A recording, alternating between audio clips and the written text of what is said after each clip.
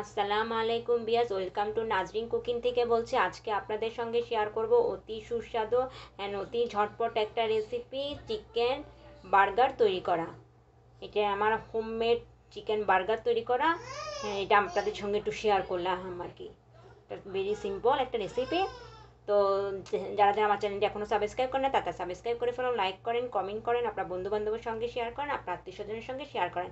তা আসুন এই চিকেন বার্গার তৈরি করতে কী কী ইনগ্রিডিয়েন্টস লাগে সেটি ফার্স্টে আবার প্রথমে আমি দেখিয়ে দিচ্ছি। এটা ছোট বড় সবাই খেতে পছন্দ করে, আর ছোটরা তো বিশেষ করে সবচাইতে বেশি পছন্দ করে। এটা আপনারা সকালে বাচ্চাদেরকে টিফিন হিসেবে স্কুলে দিতে পারেন, অথবা বিকালে নাস্তা হিসেবেও দিতে পারেন। আবার অনেক সময় দুপুরে, বাচ্চারা হয়তো ভাত টাত খেতে চায় না, তখনও দিতে পারেন এটা বানিয়ে আর বড়োদেরকেও দিতে পারেন মেহমান আসলেও দিতে পারেন। তো আসুন, কী কী ইনগ্রিডিয়েন্টস সেটি ফার্স্টে দেখিয়ে দিই। এখানে একটা একটা বার্গারের পাউরুটি নিয়েছি, দেখতে পাচ্ছেন একটা বনরুটির মতন। আর এখানে আমি চিকেনগুলোকে, রান্না চিকেনগুলোকে ঝুড়ি ঝুড়ি করে কেটে নিয়েছি। ঝুড়ি ঝুড়ি করে আমি কেটে নিয়েছি। রান্না করা এটা হ্যাঁ, আমি কীভাবে রান্না করছি সেটা আমি ডিসক্রিপশন লিঙ্কে আবার দেখিয়ে দিব। আরেকদিন দেখিয়ে দিব। আর ডিসক্রিপশন লিঙ্কের পরিমাণগুলো আমি দেখিয়ে দিব। আর এখানে আমি প্রথম নিয়েছি এটা চিজ মজুরলা চিজ স্লাইস করে কেটে নিয়েছি দুই স্লাইস মজুরলা চিজ আর এটা হলো চেডার চিজ চেডার চিজ আর মজুরলা চিজ এখানে ইউজ করব। আর এখানে নিয়েছি ম্যায়োনেস আর এখানে নিয়েছি ক্যাচাপ আর আপনার চাইলে হট সসও ইউজ করতে পারেন। যেহেতু বাচ্চা খাবে তো আমি হট সস ইউজ করতেছি না। আর হলো ইউ মাস্টার্ডও ইউজ করতে পারেন। মাস্টার্ডও আমি ইউজ করতেছি না। এই দুটো জিনিস আমি ইউজ করতেছি না। আর আপনারা চাইলে লেটু, শসা এটাও ইউজ করতে পারেন। এগুলো আমি দিচ্ছি না, কারণ আমার বাচ্চা খাবে না, তো ওই জন্য আমি দিচ্ছি না। আপনারা করার সময় লেটুস তারপর শসা এটাও দিতে পারেন। মাস্টার তারপরে এই কী বলে হট সস এটাও ব্যবহার করতে পারেন। তা আসুন, প্রস্তুত দেখিয়ে দিই কীভাবে তৈরি করব। এটা খুবই ইজি তারপর আমি এবার দেখিয়ে দিচ্ছি। এখানে আমি প্রথম ম্যানেজটা নিব। কীভাবে ম্যানেজ দেবো সেটা দেখা দিচ্ছি। একটা ছুরির সাহায্যে আমি ম্যানেজটা দিচ্ছি। এটা ছোট ছুরি, পাতলা ছুরির মধ্যে দিয়ে এটা দিচ্ছি। একটু পারছি আপনাদেরকে দেখানোর চেষ্টা করতেছি। অনেক দিন অনেক ভিডিও দেওয়া হয়নি আমার। কারণ আমি তো ভালো রান্নাবান্না করতেছি না। মানে চা রান্না করে সিম্পল, ওগুলো তো দেখানোর কিছু না, তাই আমি এগুলো দেখাই না আর কি। তো একদিন একদিন একটা ডাউনলোড করছি একটা পেঁপের শরবত, পাকা পেঁপের শরবত, আর এখন করতেছি আমি একটা চিকেন বার্গারটা দেখাচ্ছি আপনাদেরকে। এখন আমি ম্যানেজটা সুন্দর করে লাগিয়ে নিব। যে যেটুকু খেতে চায়, ওটুকু আন্দাজে লাগিয়ে নেবেন। কেউ বেশি খেলে বেশি, কেউ কম খেলে কম।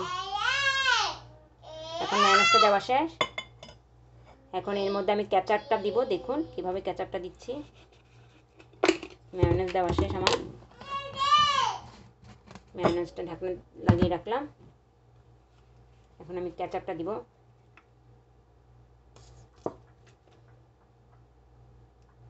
ঝেঁকিয়ে তারপর দিতে হয়। কেচাপটা আমি একটু বেশিই দিব, কারণ আমার বাচ্চা কেচাপটা একটু বেশি পছন্দ করে। টমেটো কেচাপটা টমেটো সসটা তাই আমি একটু বেশিই দিলাম।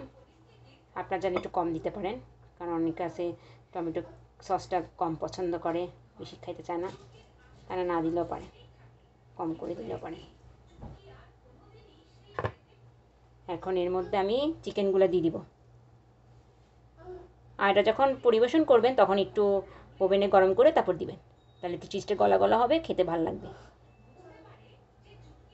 আমি এখন আপনাদেরকে দেখানোর জন্য এমনি বানিয়ে দিচ্ছি। এমনি কিন্তু খাবার সময় চিজটা যখন একটু গরম করে খেলে ভালো লাগে আর কি। আমি চিকেন সম্পূর্ণটা দিয়ে দিলাম। যে চিকেনগুলো আমি ঝুড়ি ঝুড়ি করে কেটে রেখেছি, এগুলো সম্পূর্ণটা দিয়ে দিলাম। আমার হাত ধোয়া, এটা আমি হাত দিয়ে সব কিছু করতেছি। তারপর এখানে আমি প্রথম দিচ্ছি চেডার চিজ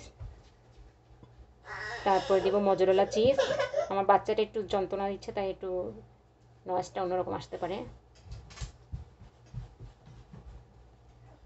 এখন আমি এটাকে ভালো করে মুখটা বন্ধ করে দিব।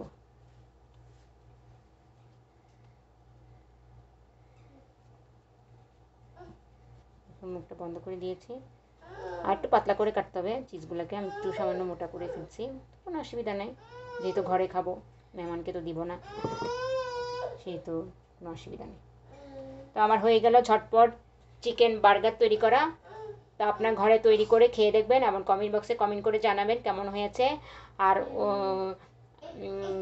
ঘরে তৈরি করে খেয়ে কমেন্ট বক্সে কমেন্ট করে জানাবেন। আর কি কি ভিডিও দেখ, কীরকম ভিডিও দেখতে চান সেটা আমাকে কমেন্ট বক্সে কমেন্ট করে অবশ্যই জানাবেন। আপনাদের কমেন্টের অপেক্ষা আমি থাকি। আর অতি শীঘ্রই আপনারা আমার চ্যানেলটি সাবস্ক্রাইব করবেন, লাইক দিবেন, যেন আমি আরও উপরের দিকে উঠতে পারি আরও তাড়াতাড়ি এগিয়ে যেতে পারি। রাখি খুদা হাফেজ।